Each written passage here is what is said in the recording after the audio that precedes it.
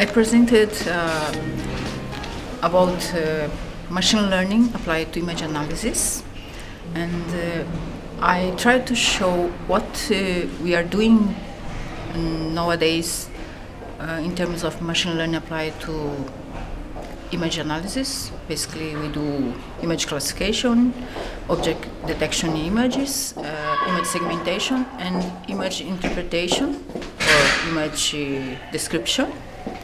And uh, these uh, tasks are dominated by deep learning techniques.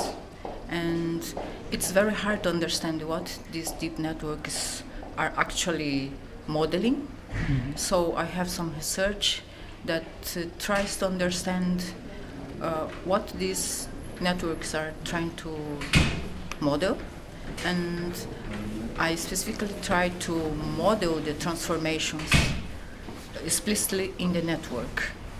Also, we try to explore visualization, and these techniques uh, will be used for, for many applications I particularly work with plankton image classification, also classification of astronomical objects, document image analysis, and there are other works in our department. And I, I think we are very fortunate.